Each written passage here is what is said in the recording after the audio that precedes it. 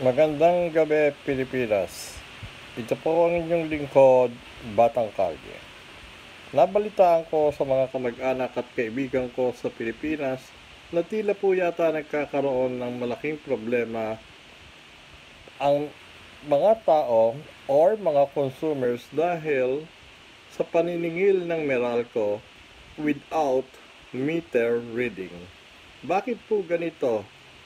Sinasamantala nyo ang pagkakataon na mayroong pandemic na ngayon sa buong ah, sa buong mundo. Bakit ginagawa nyo 'yan? Maraming tao ang walang trabaho, walang kinikita at nagagawa nyo na maningil ng napakalaki dahil ayon sa mga sources ko napag-alaman ko na nagpadala kayo ng bill sa mga tao na wala namang actual meter reading. Ang ginawa nyo yata, tila binasi nyo ito sa mga nakaraang konsumo ng tao at tinaasan nyo pa.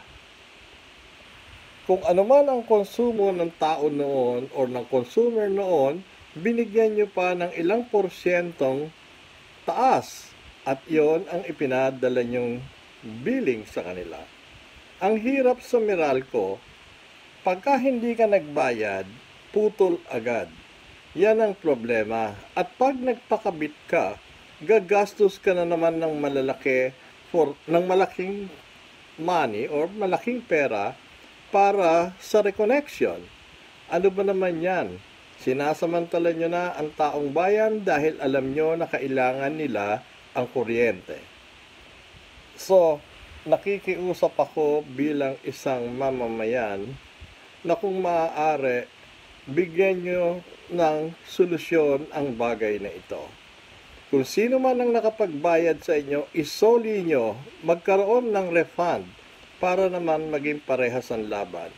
Hindi yung kuha kayo ng kuha ng pera at pagka hindi nagbayad, putol agad at napakahirap ng reconnection sapagkat napakalaki ng gastos.